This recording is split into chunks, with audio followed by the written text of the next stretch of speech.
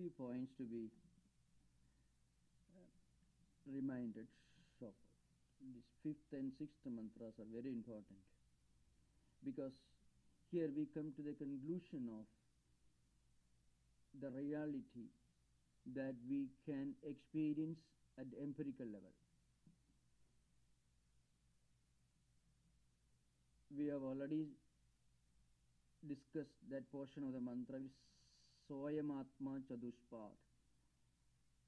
The Upanishads point points its finger to us and say, Saha, that reality, the all-pervading reality, the omnipresent reality, the cosmic reality which pervades entire creation, resides in our heart.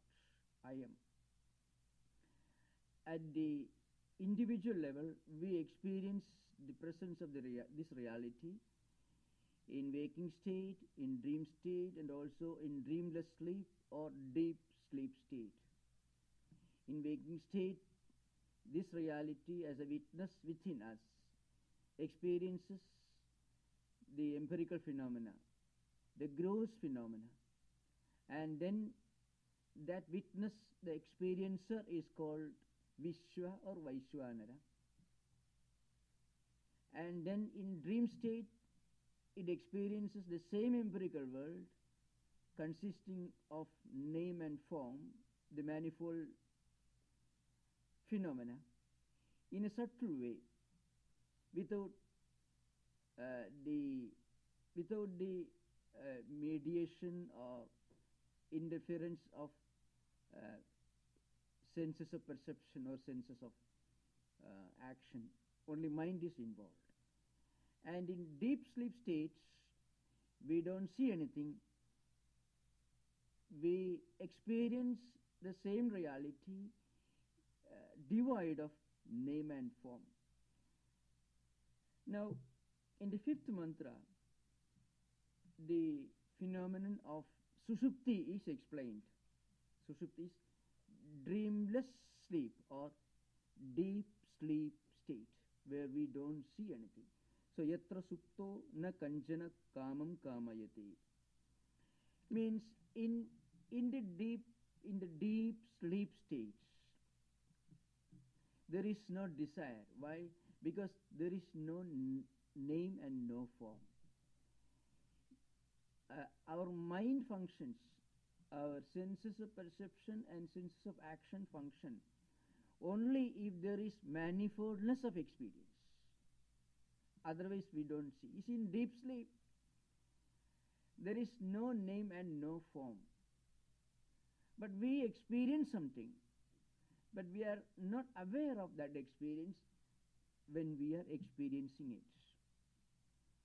So, in fact, any any kind of bliss, joy, or happiness is always associated with complete identification of our mind with that object. This you can verify uh, even from the standpoint of mundane experiences. See, if you are watching a football match, soccer match, or if you are listening to a wonderful music, or if you are uh, just uh, um, uh, enjoying a great painting, if you are a connoisseur of painting, if you are an artist, for a minute you forget yourself. You become completely identified with the music if you are a great connoisseur of music. And you become completely identified with the beauty, the grandeur of the painting if you are a connoisseur of painting, if you are yourself an artist. So, name and form completely vanish. Painting is there, but you, you reach a level of experience where you become identified with that experience. That means there is a kind of complete merging of the knower and the known, the seer and the seen, the subject and object. And that gives you a kind of joy you know, the word bliss we can use in a very limited sense because the word bliss, uh, I don't mean what generally may mean English language, but in Sanskrit it's called ananda. Ananda, it is translated in English as the word bliss, but it's always a problem of translating philosophical terms into a different language. There is always a kind some, some problem. Now, this bliss is associated with two characteristics. One is effortlessness. Second is an inner joy. This is what happens. So in deep sleep, see the mantra says, Yatra suptaha na kanchana kamam kamayati. Mean in that in that deep sleep state, the one who is enjoying the susupti, as it is called, or deep sleep, or dreamless sleep, you don't see any any any form, and you do you are not aware of any name either, because there is only agrahana means non-perception. Wrong perception is not there. Non-perception is there. The reality is veiled or concealed. There is no dvaita, but I mean there is no duality. Duality is not transcended, but duality is not experienced because the instruments of the experience of duality become benumbed. Rather, they mer- they get merged in Atman. It doesn't make any difference. It doesn't transform the experiencer into a liberated person. The experiencer loses the rather his uh, instruments of experience uh, lose their faculty of experience in deep sleep state. So you don't have any dream. Now, the the turiya, the atman, the reality, which uh, experiences this sushupti or this dreamless sleep experience in uh, dreamless sleep is called prajna. The word prajna used. The word has got a great importance, you know, prajna. Uh, see, the, in Sanskrit, prakashena janadi iti prajnaha. Prajna eva prajnaha. Uh, that, that prajna uh, is able to get a general understanding, not special understanding. Now, a general comprehension, a special comprehension. The uh, Bhashyakara, the, the commentator, gives a graphic example that will make it very clear. Uh, he compares uh, a dream state and waking state to our normal experiences uh, during daytime. See, during daytime, when you look at the bay from here, you can see the bridge, the buildings, the roads, vehicles, uh, pedestrian walking in the streets, all these find. There is manifoldness, or plurality, or diversity of objects you can see. Things are visible, and each object is seen as distinct from each other objects. This is the experience of waking state.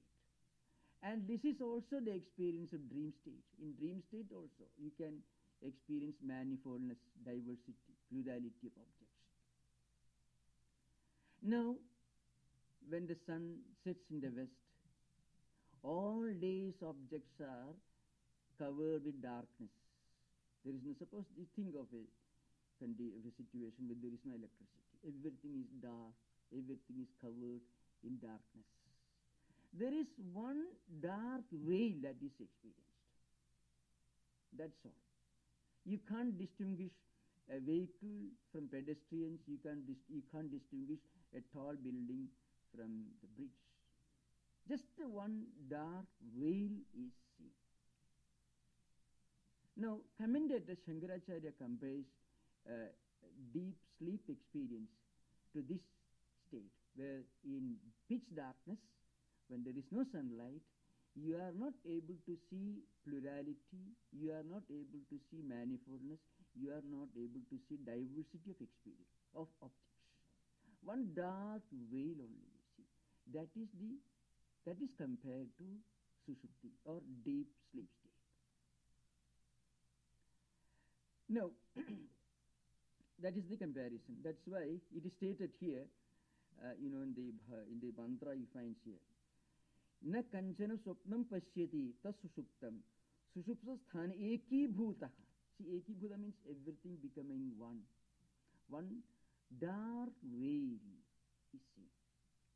There is no, you can't distinguish a building, one building from another building. You can't distinguish one uh, vehicle from another vehicle, the car from the side. You can't.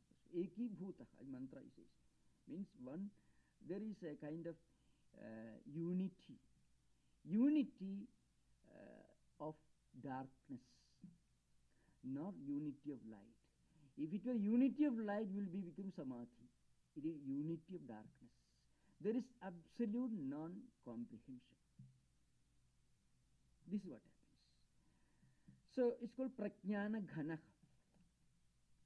So what happens is, at that time, this this witness uh, it withdraws itself from all external objects because external objects are not seen, not experienced. So there is a kind of ghani bhavana means kind of solidification, everything becoming one, everything becomes one uh, unseen, invisible darkness. And then also there is an experience of joy. That, that joy is not the joy of awareness or consciousness. That joy is, the, is associated with absence of manifoldness. You can transcend Dvaita in Samadhi. But in Susupti, you are not aware of the existence of Dvaita. So this is the difference. See, if you have got a, if you are ill, you have given some medicine and you are not able to, uh, you, you, are not aware of the pain, it's not because you transcend pain, but because uh, the psychological mechanism, the physical mechanism which makes you aware of pain is benumbed. The moment the effect of the medicine uh, goes away, again the pain, you feel the pain. You are not transcending the pain. So that's what really happens in Sushupti. So Ekibhuta Prajnanaghana, if Anandamaya, the word defined Anandamaya. Anandamaya means, Ananda means bliss. There is plenty of bliss. The Anandamaya means um, having a lot of joy or bliss. But it doesn't become identified bliss, not Ananda Surupa. Two words are to be noticed here Ananda Surupa and Ananda Mayaha. When you use the word Ananda Mayaha, means the Mayat Pratyaya itself indicates that you have got a lot of joy or happiness. But that is not everlasting. But for some, for some time, it gives you, uh, it gives you a feeling, a glimpse of the experience of transcending plurality. And the moment you transcend plurality, you enjoy peace and bliss. Even in deep sleep, when you transcend plurality, when you uh, become yourself identified everything with everything, there is the uh, there is the experience of joy or bliss. So that's for even even even in, in mundane experience we can see. Whenever there is distinction, duality, we feel pain. In there's a famous mantra in the Chandogya Upanishad, Dvaita thi bhayam bhavati. Dvaita or duality or plurality or distinction is always the root cause of all fear, all, fe- all pain, all misery. The moment we feel identified with something, we feel joy. That's why a musician, when he enjoys a, a, a beautiful classical musical performance, he forgets himself.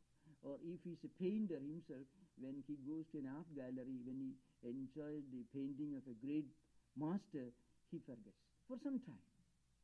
And also, if you are uh, uh, uh, interested in literature, then when you read a beautiful poetry, then also you forget for some time because that duality vanishes for a minute.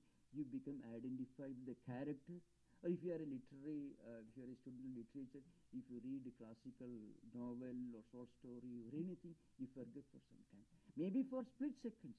Or even a sportsman, when he plays, he may forget.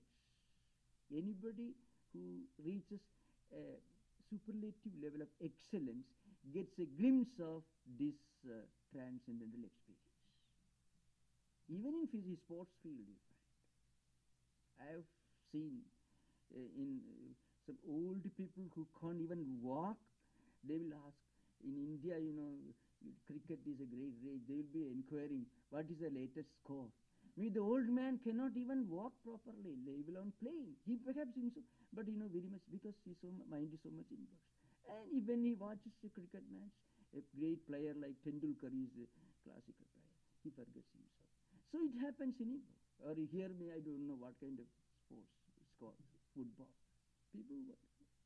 Even, even in the mundane physical field, for a split second, when you uh, watch a uh, sports performance, if you are a great connoisseur, a great fan, you forget for a minute. You become you become identified with that, with what you are seeing. That gives a glimpse of uh, the transcendental experience which is uh, being discussed here. But remember, it's only because of some kind of uh, what you call a flashing experience of unity of subject and object. Subject and object becoming one, merging in one. That, that is the source of joy of happiness. So it is, that is anandamaya, means uh, a lot of uh, joy. That's why everyone wants to go to sleep. Nobody wants to, en- uh, want, nobody wants to uh, have nightmares. If, if possible, everyone wants to go to deep sleep so that he can forget himself. He can go beyond Dvaita. He can go beyond duality, manifoldness, plurality. So that's why Ananda Mayeha. The Upanishad uses the word Ananda Mayeha. Anandabhuk it is. Ananda means somebody who enjoys Ananda. Ananda means bliss, who enjoys Ananda.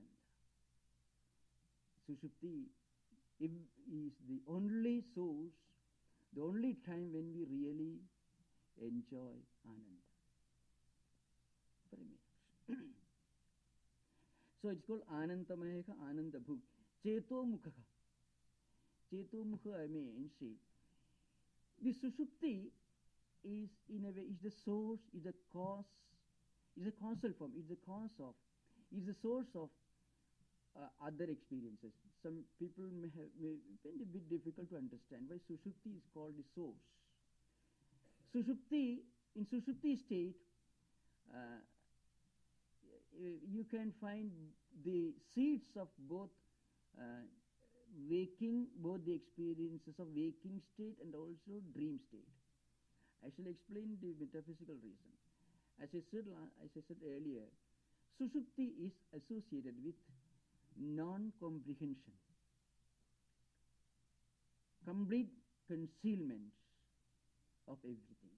That point is very clear. And uh, in waking state and dream states, we have got um, wrong uh, cognition because we are not able to experience the presence of Atman, the absolute reality.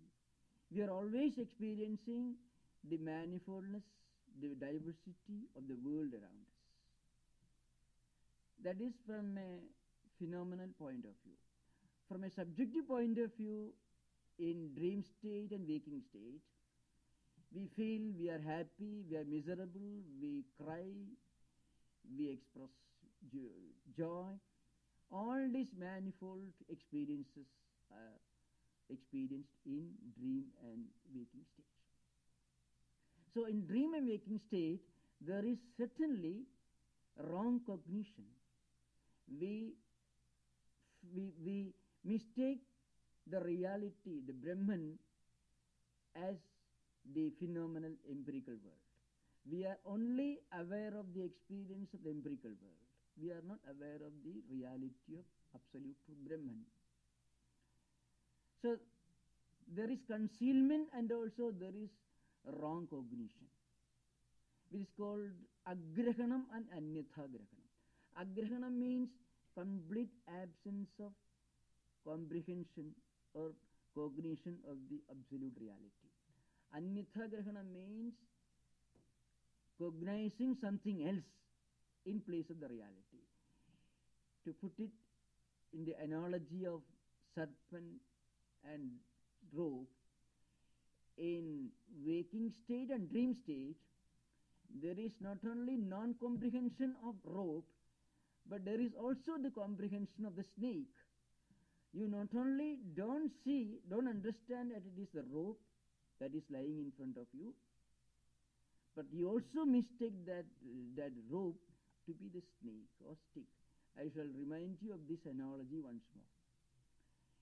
I said that I'm not, but in a few words, you think of a room which is dimly lit. There is not enough light, but there is. It's not uh, very dark either. Something is visible, something lying on the floor, and you. It actually, in fact, it is a piece of rope. You mistake the rope to be snake. Now here, Uh, you are not able to recognize that it is rope. That is concealment. The rope is concealed. But you also mistake the rope to the snake. So there is superimposition of snake on the rope. Similarly, in dream and waking state, the reality is concealed, but unreality is superimposed on, on the real. But in sushupti or deep sleep state, there is no superimposition of the unreal on the real. There is only concealment of the real. So, and look here, uh, superimposition of the unreal on the real is caused by the concealment of the real. Because the rope is concealed, you mistake it to be the snake. So, in fact, wrong cognition is the effect and non comprehension is the cause. Now, in susupti or deep sleep, there is only non cognition or non comprehension, which is a cause. So, and dream and dream and waking state, there is concealment and also there is cause and also effect. So, therefore, you can very easily understand that sushupti is the cause. So, from sushupti, you go back to you go to waking state and dream state. That is why the the experiencer at the individual level is called prajna, one who really is unaware of the reality, or another interpretation is the the one who uh, who does not, who cannot experience the manifoldness. Because who who who completely loses his ability to experience the manifold. That is why it is called the cause the cheto mukha the word is used cheto mukha prajna tritiya this prajna is the third quarter of this of this turiya now again we will come to the next mantra when we uh, when we read the seventh mantra, surprisingly you find the whole philosophy becomes very obvious. That is the speciality of this Upanishad. Even if the the implication of the earlier mantras are a bit obscure at this stage, it becomes very clear as we proceed, as we advance, as we go to the seventh mantra, which is one of the most uh, important philosophical point of view mantra of this Upanishad. We'll come to the seventh mantra after some time. Now we'll go to the sixth mantra. एष सर्वेश्वरः एष सर्वज्ञः एष अन्तर्यामि एष योनिः सर्वस्य प्रभवाप्यो हि भूतानां नौ एष means this experiencer, the experiencer in Sushupti. Because in Sushupti, which is a causal form, we experience the complete concealment of the reality, which is actually the cause of the superimposition of, of the real on the unreal. Because concealment or non-comprehension is the cause of wrong comprehension. You are not being able to understand this is rope is the cause of your wrong understanding that this is snake. If you understand this is rope, you will not think it is snake. So that analogy should be kept in mind. So very often Indian, uh, modern Indian philosophers, professors in the university say, the old rope never gets broken and old snake never dies. Because this analogy is called it is called. The rope and snake analogy. It was used for the first time by Nagarjuna in Mula Madhyamika, the work, the 4th century AD. Later in other works also, in Shankara's Bhashya also it comes. In Gaudapada's Karika and all it comes. So, Esha Sarveshwaraha. Now, this uh, experiencer in deep sleep is Sarveshwara because it is the causal form. And Esha Sarvajna, Sarveshami, he is the uh, Supreme Lord at the macro level, at the cosmic level. This experiencer is Ishvaraha. Here I must explain another point. We have already explained uh, the experiencer of waking state, the experience of dream state. Now, in waking state, at the individual level, the experiencer is called the Vaishwanaraka or Vishwa, the one who experiences this gross manifoldness of the universe. This totality, it is its totality or in its holistic form that experiences together is called Virat. That means the entire universe, this, this cosmic phenomena that we experience in waking state. The experiencer, the drashta, as an individual is called Vishwa. And the totality of all his experiences in waking state is together called Virat. Virat means nothing but the entire the visible phenomenal world that we recognize, that we cognize with the mind and the five senses of perception. That is a phenomenal world. Virat it is called. Now, this, this with regard to waking state. In dream state, this experiencer who experiences all this in a subtle way is called Taijasa in, in the language of the Upanishads and the totality of all his dream experiences together is called Hiranyagarbha. The totality of all subtle experiences together, Hiranyagarbha. The totality of all gross experiences together called Virat.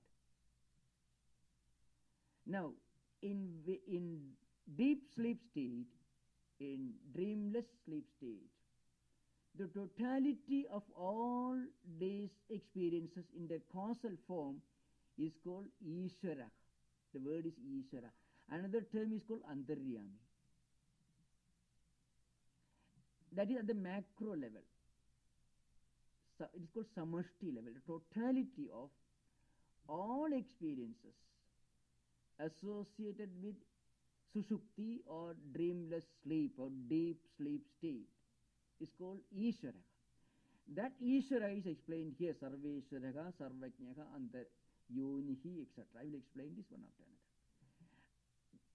At the experiencer level, that means at the micro level, at the individual level, the experiencer is called Prajnaha, and the totality of all his experiences is called Ishvara. The word Ishvara in the sense the one who controls, regulates everything because it is a causal form. That's why the world is created by God. The monotheistic concept is explained here. In fact, Advaita accepts all other systems of philosophy. Advaita fully recognizes, agrees, agrees with, and accepts all other concepts of God, explained in all religions. Advaita says there is something beyond that, that's all. This is all correct, but this is not the whole of reality. There is something beyond that. So, in Advaitic tradition, Ishvara is a reality. That is, Ishvara means God with attributes, God with name, God with form, God who creates this world, God who sustains and regulates this world, the God who distributes uh, uh, rewards and punishment is a reality. But that God is explained as the understanding of the absolute through the prism of time, space, and causation. Swami, Swami Vivekananda in modern English has explained. If you look at the absolute reality, which is in fact without attributes or beyond attributes, beyond name, beyond form, etc. But if you look at this absolute reality, which is formless, which is attributeless, if you look at it through the prism, through the spectacle of time, space, and causation, then it is called Ishvara. It is called God, capital letter G, God. The creator God, the one who creates this world. That is the cause of everything. Because from him only the whole world emerges. So that God is explained. What is that God? That God is Sarveshwara. Means Sarvesham Bhutanam Ishvara in Sanskrit. Means he is the controller, regulator, uh, creator of everything in this world. The totality of all causal experiences is a creation of this God. So again you have to remember, Swamiji in modern English has given a very, very memorable uh, definition of God. What Swamiji says, God, capital letter G, God, Ishvara, I mean the God of monotheistic religions, um, and also non-Advaitic schools of Vedanta, Ramanuja, Madhva, etc.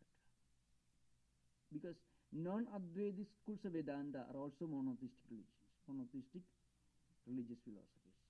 So they have posited a God who creates this world, who sustains the world, who regulates everything. That God is nothing but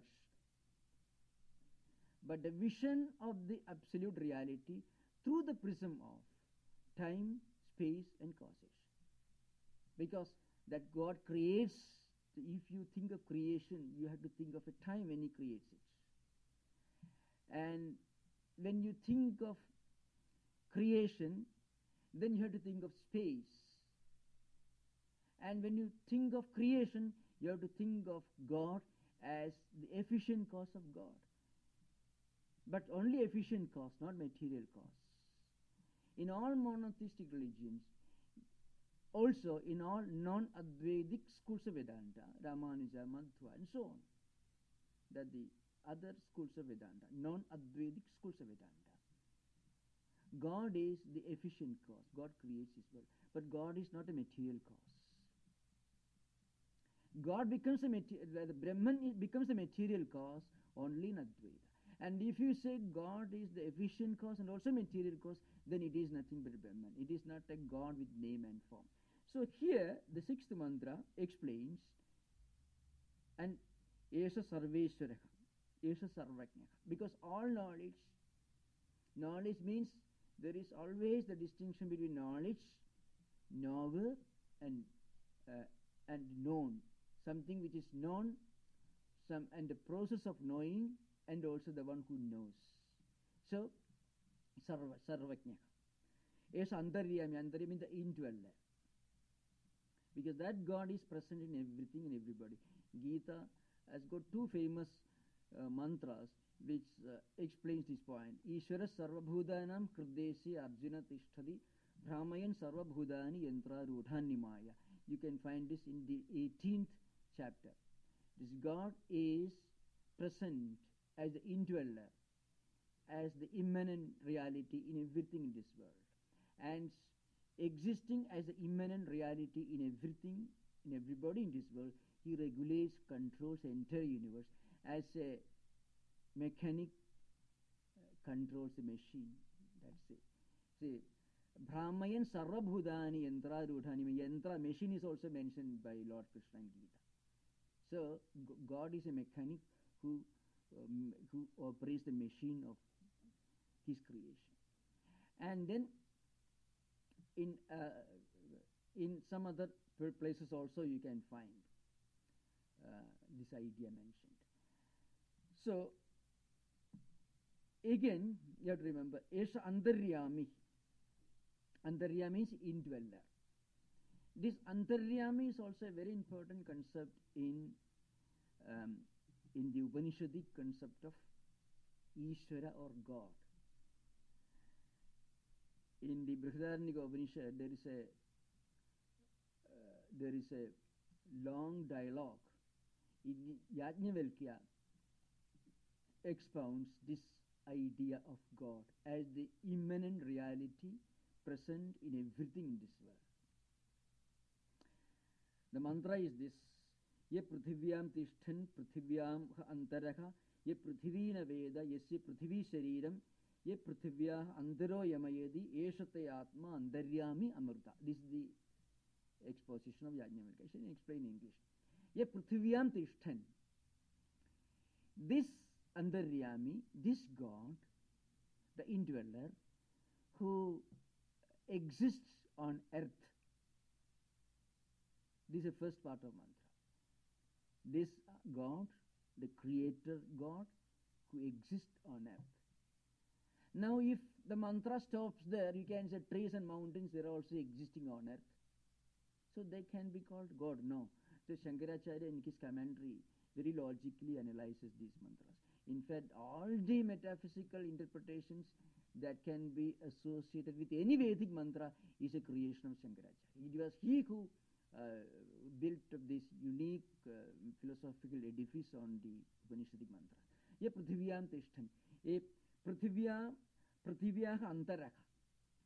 So, in order to rule out the possibility of a wrong interpretation that whatever you see on earth, trees and mountains, etc., are God, Shankaracharya says this reality is within. Prithivya antara is within.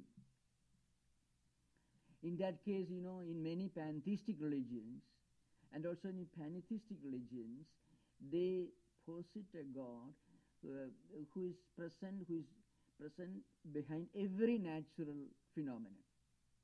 It is not so. So, he says, ye antara, prithvi na veda. Earth doesn't know that reality. Then yasya prithvi shariram. For that God, this prithvi is an expression, is a vehicle, is a means, an instrument, a medium through which it expresses itself.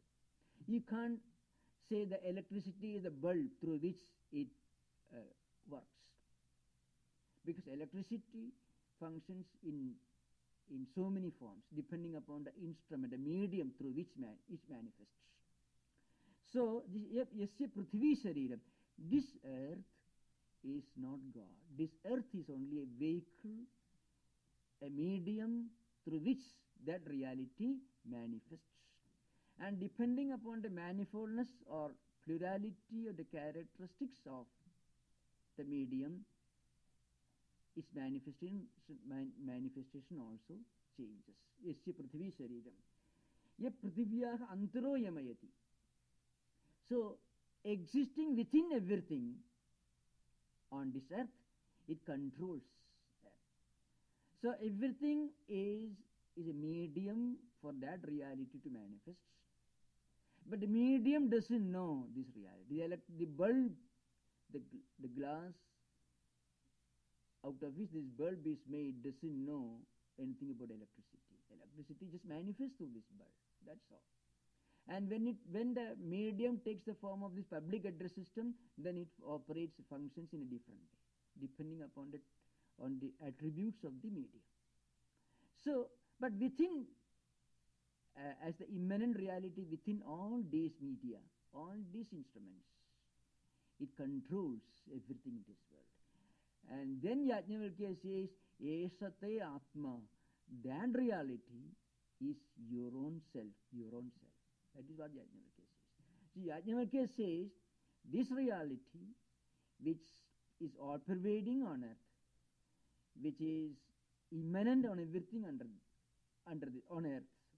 Earth here means everything in universe that you can think of. In fact, the month, this is the beginning of a long discourse by Yajnavalkya. Then Yajnavalkya goes on explaining Prithvi, Apaha, ups, and so on. Air, water, human, uh, different senses of man's perception, different senses of action, everything that you can conceive of uh, in this phenomenal world. Yajnavalkya lists, he includes. Then he says, this reality is, ex is expressing itself in all this manifoldness, in all these diverse phenomena. Nothing is left out.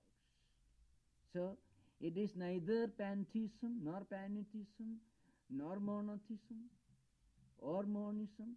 It is the absolute idealism that Yajnavalkya ultimately uh, reaches at the end of this discourse. Of course, I cannot, I don't have time to go through. It comes in Brihadaranyaka Upanishad. Uh, that means third chapter. Those who are interested, you can read uh, the in the third chapter you can find. now, coming to the subject again. So, we have already reached uh, Antaryami. Esha Yoni. Yoni means the source of everything. That the mean the reality from which everything emerges. The entire universe emerges out of which. Sarvasya prabhavaha appeha. Prabhava means beginning, origination, birth. Appeha means dissolution. So, this Ishvara is the beginning, the point of origination, the source of everything. It is also the point of dissolution of everything. And everything exists in this reality. That is Ishvara, God, seen or interpreted through the prism of time, space and causation. The moment you go beyond time, space and causation, it is Nirguna, Nirakara, Nirvishesha, Brahman, which we will explain in the sixth, in the seventh mantra. That is Turiya. So time, space and causation is nothing but relativity, another name Maya. So if you look at the absolute reality through the prism of Maya, of time, space and causation, that is Ishvara. When you go beyond that, it is Turiya, uh, which is we are going to which we are going to explain in the seventh mantra, which is the most important, one of the most important verses mantras of this Upanishad. the mantra is this na antaprajnam, na bahishprajnam, na ubhayadapragnam na prajnanaghanam, na prajnam, na aprajnam, adrishyam, avyavaharyam, agrahyam, alakshanam, avyapadeshyam, ekarma pratyasaram, prapanchopashamam, shantam, shivam, advaitam, chaturtham manyande, sa atma, sa vitnyeha, the famous mantra. So before coming to this mantra, we have to keep a few points in mind. The Upanishads approach reality from different angles. Now, uh, if you, I mean, from one point of view, it approaches from the cosmic and also the cosmic angles. Cosmic angles means is this. Well, you can um, either you can say that everything that you think of, you see, you experience is only, on, is Brahman only, the absolute reality only. That's one way to do. That means, see, if you admit the existence of anything other than Brahman, then it becomes duality, it becomes Dvaita. You are admitting two realities. So whatever you experience is Brahman only. Sarvam Khalu Idam Brahma. This is the cosmic approach. Whatever you experience is Brahman only. I shall explain this again in the light of the rope snake analogy. See, uh, the you see the object that you that is lying there on the floor can be approached from two angles. One is the real thing that is Rajju, that is rope, and the unreal thing that is snake. But both indicate the same thing. The reality is one. So even when you call it snake, what you are implying, what you are pointing your finger towards is rope only. Only your understanding is wrong, that's all. So when we look at this world, and when we look at this this is mountain, this is river, this is valley, this is ocean, and so on, this is space, and so on, if you call it. And these are different entities. Well, when then you are giving each of these entities an independent status, which is ignorance. But if you look at the whole thing as the one reality, the real Brahman only, then you are taking the cosmic, the, the cosmic approach. In other words, again coming back to the rope snake analogy, the rope may be lying in a particular shape, you know. So you say this part is its head, this part is its tail, and another, I mean, the, the portion between the two is its middle portion of the body, etc. So whatever you are explaining, maybe head or tail, whatever, it is only that object only, the only.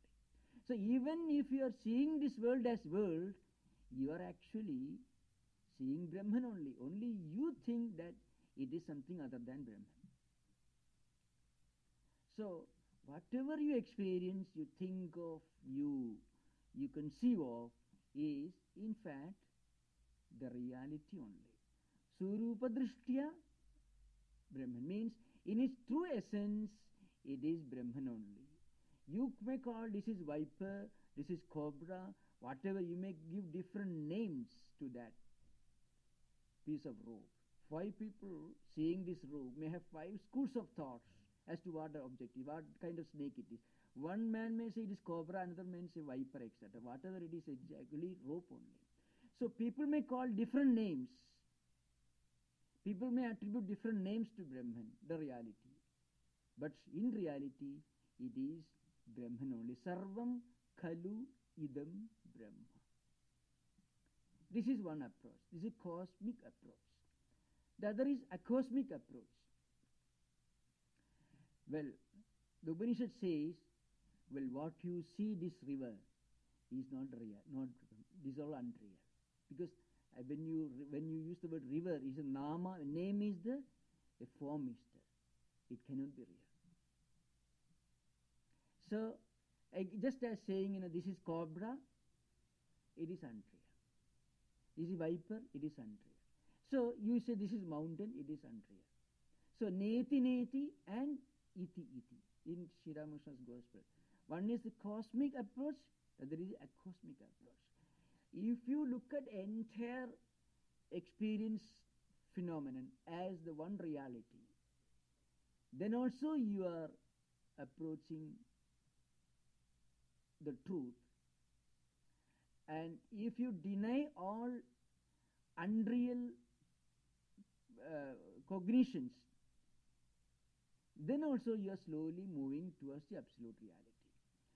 Here, the Upanishad in the seventh mantra, it takes the acosmic approach. Means everything is denied. Because he says, na, na antaprakyam, na bahishprakyam. I should explain this, thing, take some time. It is not what we experience in dream state, na antaprakyam.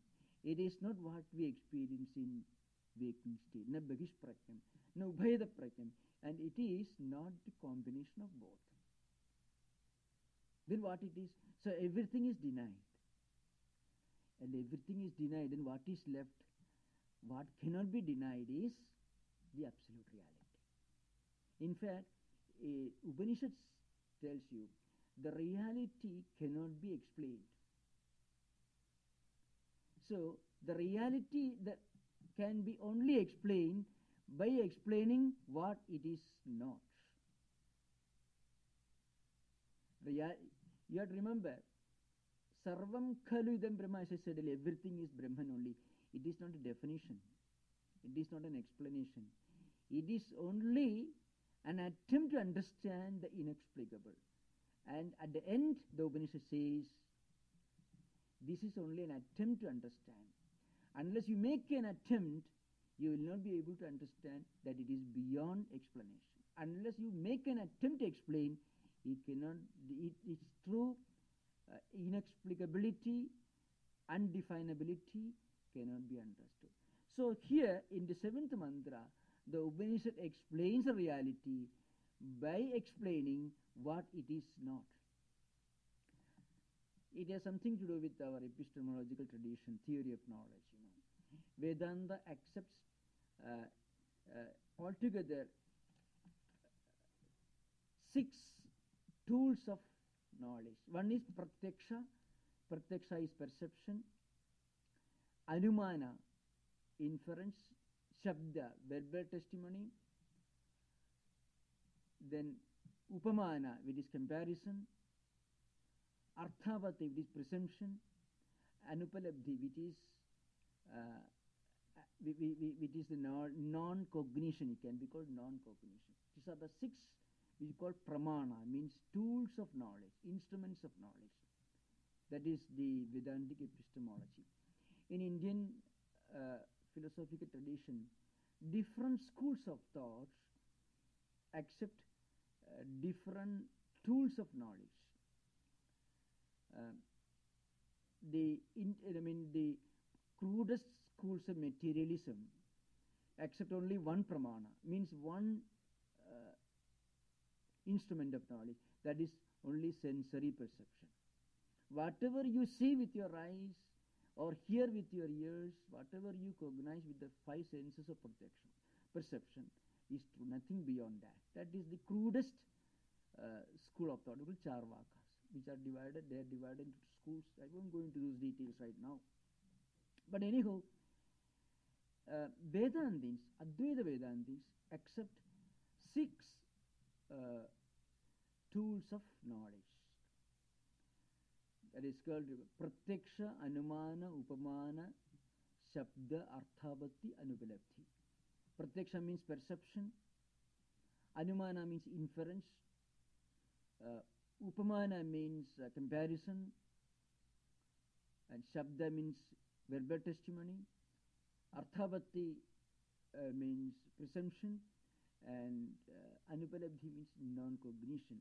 In course of time, I shall explain this because now, otherwise, if I explain now, we'll be distracted from the main topic here. Now, uh, Advaitins assert that none of these uh, instruments of knowledge can explain the reality. So it is the limit of, it is beyond all these tools of knowledge, tools of knowing.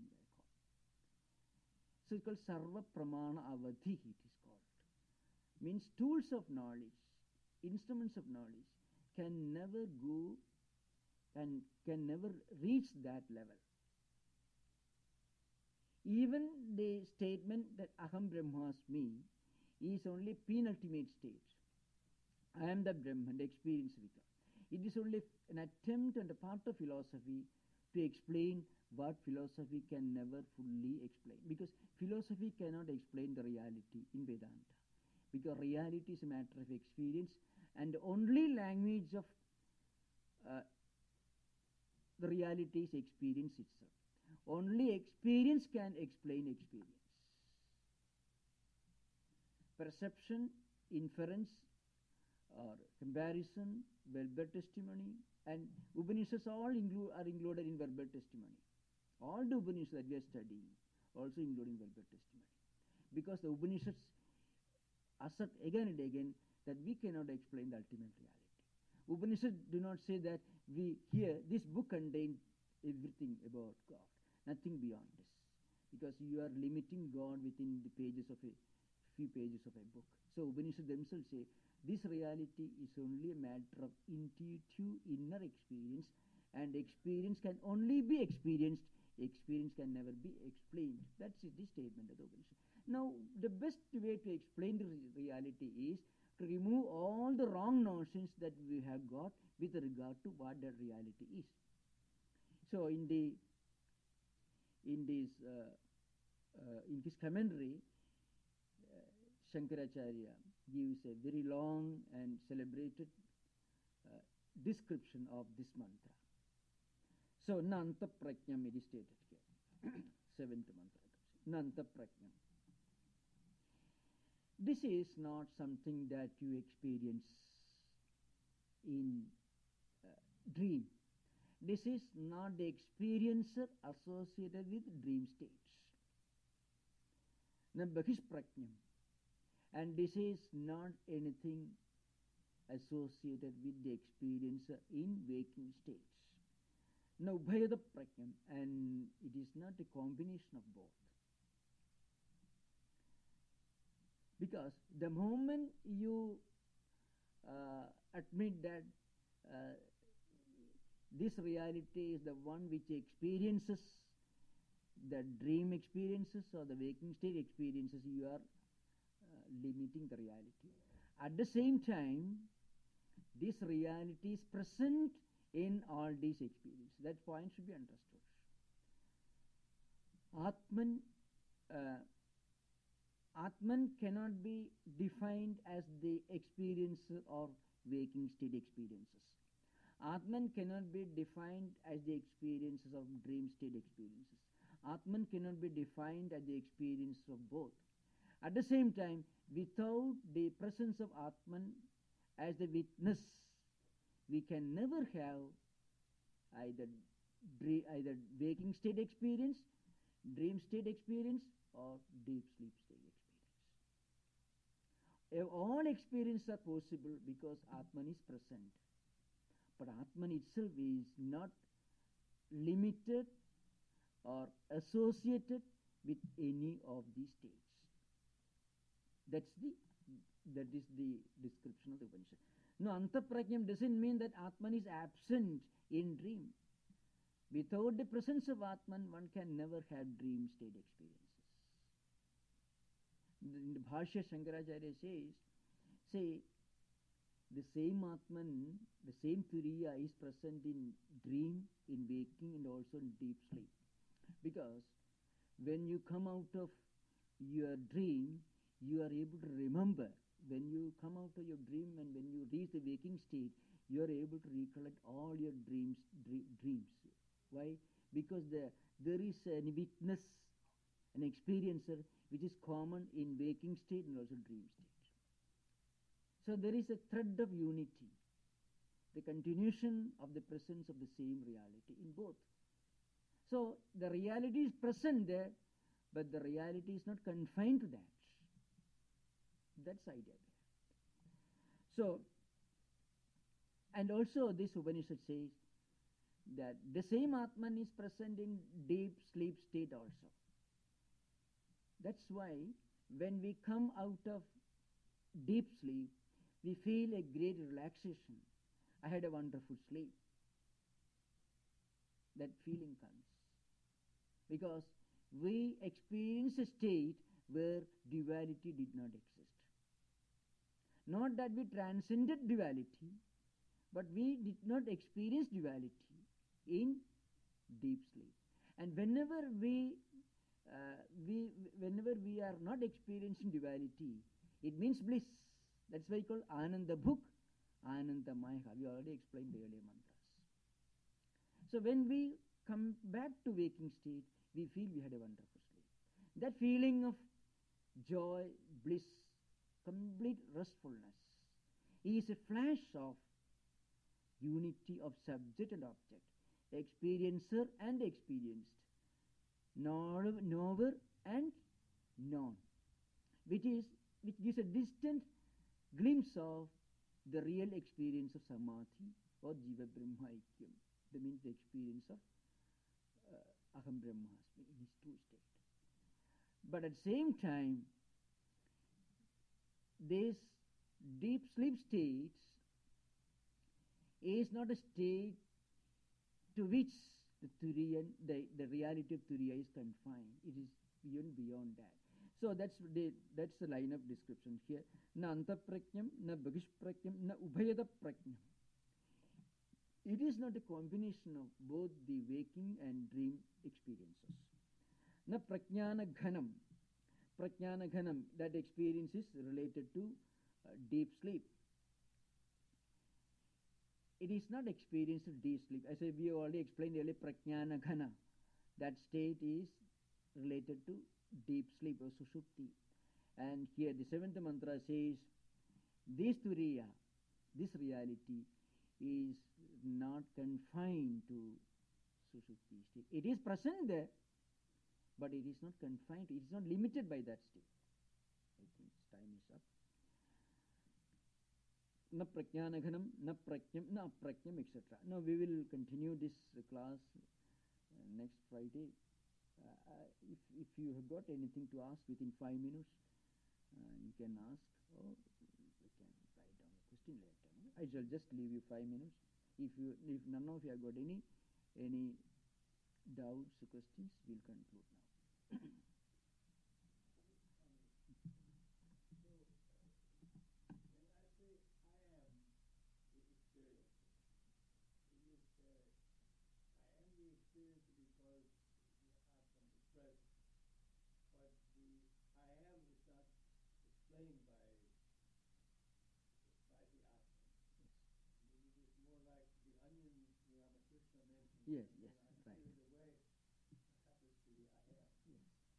In fact, the Upanishads themselves say, you know, see, I'm the experience, Aham Brahmasmi, I'm Brahman. That state is a penultimate state. That knowledge, the I am Brahman, that knowledge removes all other all other cognitions, other consumptions. Before we reach that state, we thought, I am this man suffering and enjoying. Aham, that is in Sanskrit called Aham Sukhi, Aham Dukhi. I am enjoying, I am suffering. Aham Samsari, Aham Aham Samsari. Upanishad Bhashya says, I am father, I am son, I am child, I am his friend, I have lost my property, I my health. In, the, in, the, in fact, uh, in the Bhashya, Shankaracharya give very humorous description. Some people go on shouting, say, Murto va, hato va, uh, nashtam me vittam, uh, hato me putra. My son is dead, my wealth is lost, my house is gone, I am now sick, I am now happy, I am now unhappy. All these experiences, which are related to the idea that I am this body, I am the son of that person, I am the brother of that person. All these wrong notions are completely removed by the notion I am Brahman. And that is the role of Shastra or Upanishads or books in Vedanta. So, Shankara makes a very important statement. Shastram tu uh, ajnana nivartakam na jnana pravartakam. Uh, the idea that I am Brahman, I am the reality. This works as a light which removes the darkness. And this dark, because of this darkness, people thought this snake, sorry, the, this rope in front of you is a snake, a stick, a stream of thin, a thin stream of water, or a crack on the floor. In Vedanta, it's called Bhuchidra, Sarpa, Danda, and Jaladhara, all these things. So four people ro- thought that uh, the, uh, four people had four uh, wrong cognitions with regard to what the object is.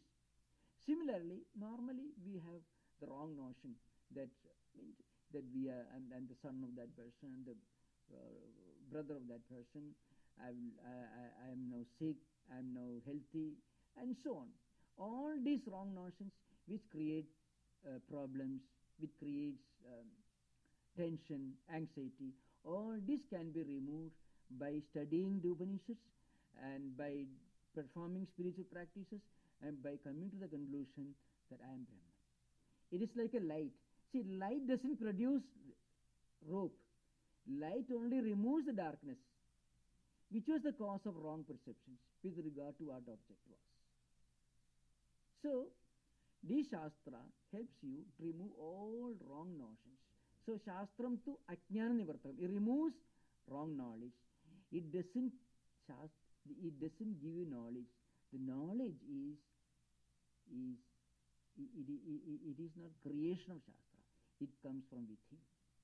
When we remove when we remove all the wrong notions with regard to what we are, then the right notion need not be brought in by anybody. Right notion comes automatically. Rope is not a creation of light. Light only removes darkness. And once darkness is removed, all wrong notion also removed. We understand is It is rope only. This is the role of Shastra. Aham Brahmasmi or I am Brahman, this Mahavakya also has got the same role. So that's why the experience cannot be uh, explained even by this Mahavakya. So Sri Ramakrishna's Gospel you find, in the Gospel Sri Ramakrishna says,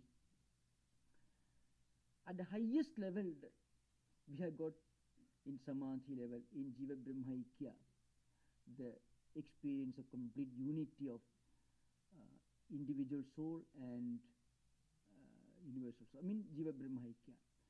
That cannot be explained. You have to come down several steps. Then only you have got Omkara, Om. And again you have to come down several steps. Then only you have got Gayatri. Gayatri is the essence of Vedas. Again you have to come down several steps. Then only Vedas. So where is the experience? Experience is uh, beyond all words, beyond all books also. So even Aham, I, I am Brahman, that, that feeling, sorry, that uh, perfect understanding is just one inch below the experience which is indicated by this word.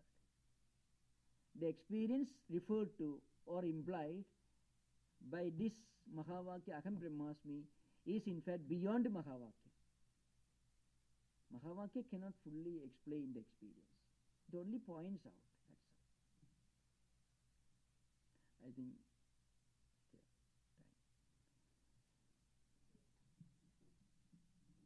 Any other? Anybody else?